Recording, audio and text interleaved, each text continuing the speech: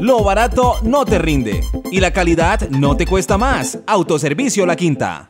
Como una amenaza de parte de encapuchados, calificó el corresponsal de RCN Televisión Barranca Bermeja, Alejandro Cabarcas, la actuación de quienes, según él, obstruyeron su labor periodística. Un grupo de personas, exactamente unas 6, 7 personas, amedrantándonos con insultos, con malos tratos, y varias de esas personas se encontraban con la cara tapada, encapuchados, como las imágenes lo pueden ver personas que pues obviamente eh, generan miedo, generan temor, generan eh, eh, esa zozobra para que precisamente nosotros no podamos realizar ese trabajo que, que normalmente pues, pues que, que, teníamos que hacer. Cabarcas le dijo a Enlace Noticias que cubría una información sobre el municipio de Cantagallo, sur de Bolívar, sobre obras abandonadas o elefantes blancos cuando recibió la visita de encapuchados. No, son obras, son tres obras una planta de tratamiento de aguas residuales que fue contratada hace 3, 4, 5 años,